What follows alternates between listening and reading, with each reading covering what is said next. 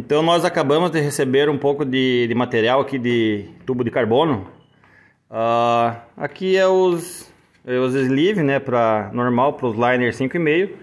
Uh, aqui, ó. Uh, esse daqui eu peguei de base de pra gente ter um comparativo. Esse é o supressor da T-Rex. Uh, ele tem 35 milímetros, né, de espessura. E agora a gente vai começar a fazer um supressor com 40 milímetros de espessura. Olha, tem uma parede bem boa. Só que esses vai ser, a gente está fazendo um projeto para ele ter 10 centímetros, tá? Então ele vai ficar bem, bem compacto, né? Uh, vamos ver, né? Uh, a gente já pediu as, ponte, as partes da frente lá no, no, no CNC, né? Com os furinhos na frente, tudo certinho, né? Para ter mais...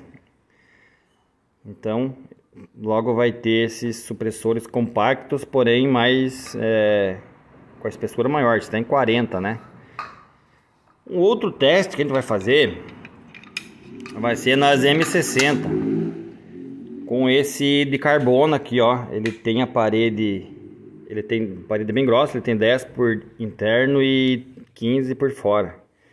Como a M60 tem aquela, aquela peça que corre lá da, do side lever com o é, interno, tem as borrachinhas lá, eu acho que não vai dar desgaste. A gente vai fazer um teste, tá? Eu vou fazer um teste, já tem uma para mexer daqui uns dias. Uh, na, tem várias, mas acho que na, na vez já tem uma. Então dentro que vai o, o, o, o sleeve, né? E o liner. Como esse sleeve aqui ele tem 8 e 10 por fora, eu coloco o liner sob pressão, ele estufa um pouquinho e entra bem apertadinho aqui nesse...